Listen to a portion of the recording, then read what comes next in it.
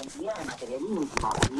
Y, eh, si vos intercambiaste O sea, que te roben fotos, videos, todas estas cosas que vemos generalmente. Perdón, pregunta, o aunque no te las roben, digo, si uno compartió... Ah, pregunto, dale.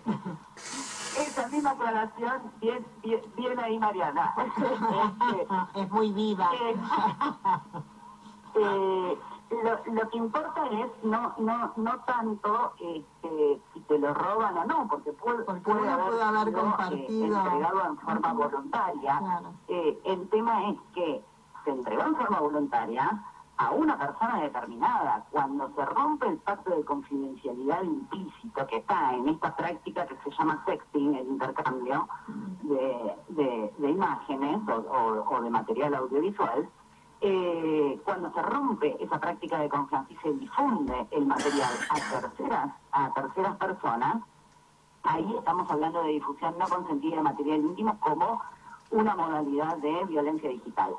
Esa es la más fácil de identificar porque obviamente si te si, si distribuyeron y viralizaron tus, eh, tus imágenes, está, está claro, digamos, que hay algo que mm, no surgió or- orgánicamente, digamos, ¿no? Que no fluyó. Ahora, la que es más difícil de identificar, que no todas las mujeres lo identificamos, es el, el acoso virtual. Porque tiene este, distintas, eh, distintas formas de ejercerse.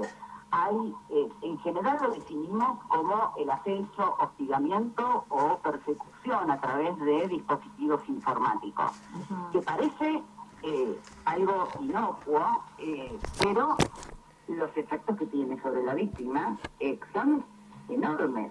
Claro. Imaginémonos estar recibiendo mensajes todo el tiempo de decir, eh, qué lindo que te queda el pantalón con el que saliste hoy a la mañana. ¿Qué pasa que eh, mm, salís más tarde del trabajo? Da la idea de una vigilancia constante. Algo parecido